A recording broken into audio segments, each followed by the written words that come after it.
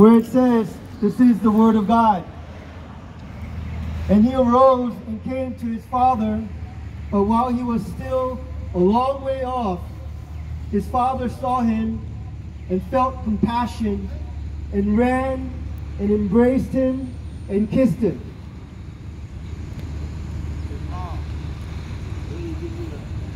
In the Gospel of Luke, chapter 15, there's three narratives, three stories, if you will. And it all concerns with the story of something being lost. Have you ever lost something? I once lost my wallet and it wasn't a pleasant experience. And when I found it, man, I just lifted my wallet high and said, I found my wallet, I found my wallet.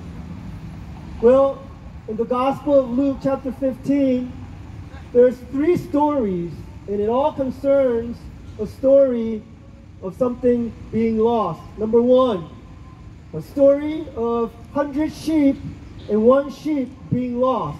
And the crazy part of this story is the shepherd leaves the 99 to go find one. And it doesn't make sense. Why would the shepherd leave 99 and risk lose the 99 sheep to just find that one sheep that is lost? And the moral of that story, the point of that story is that sheep, that one sheep is very precious to the shepherd. Can I get an amen? Amen. Yeah. That sheep is precious to the shepherd. Number two story. There's this lady, she had 10 coins. And this is not just a quarter that you put in your pocket. This is 10 coins that she she values with his with her life. They all represent something. They all are worth, you know, priceless. And one day she lost the coin.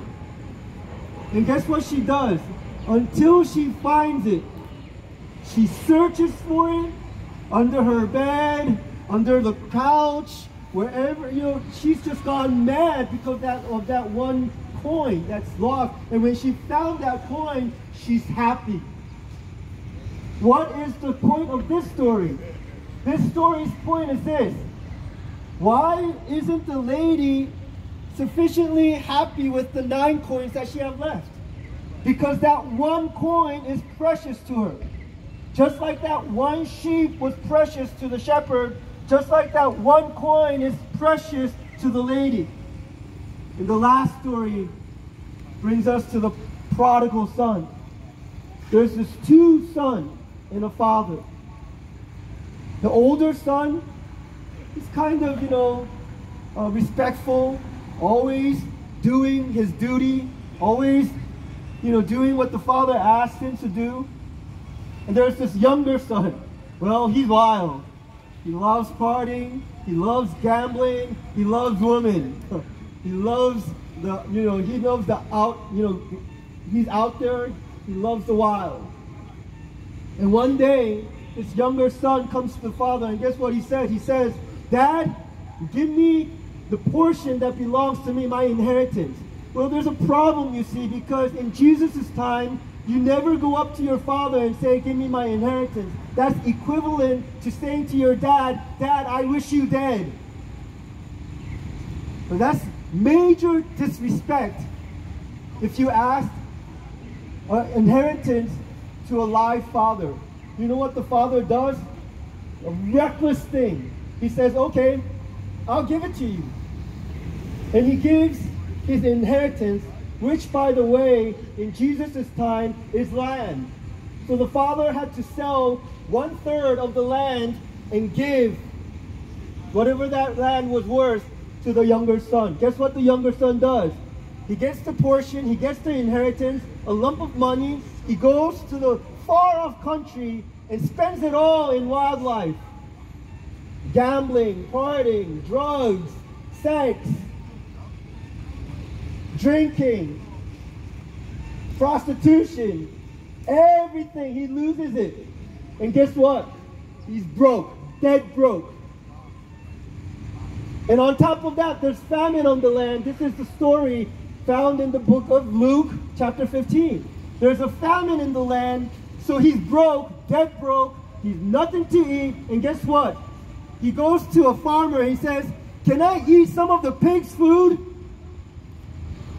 He's gone that low.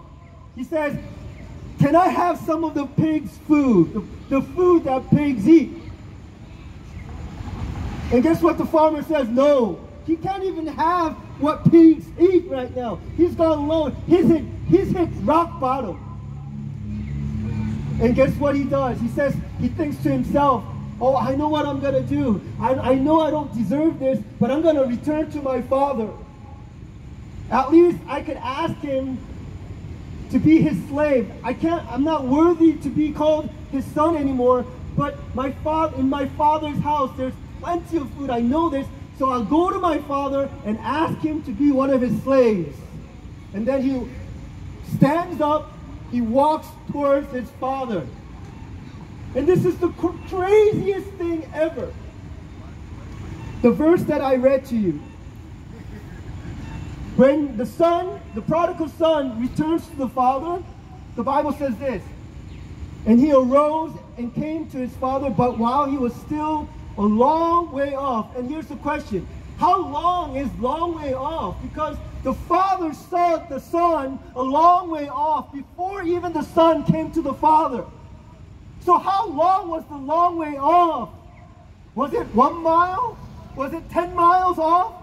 Or was the father chasing the son all this time, never forgetting about the son? The moral of the story, the point is this, that to the father, that son is precious enough to wait upon him, even though he betrayed me, even though he wished me dead. He is my son, and I cannot forget about him. I cannot. And here's the story.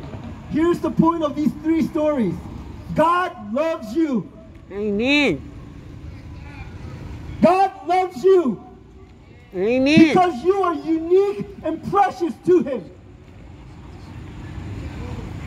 God is searching for you.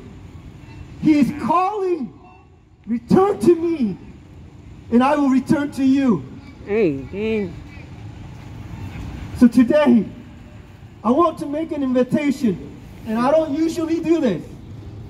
If you're hearing God's word, return to Him. If you repent, He'll mm-hmm. make it anew.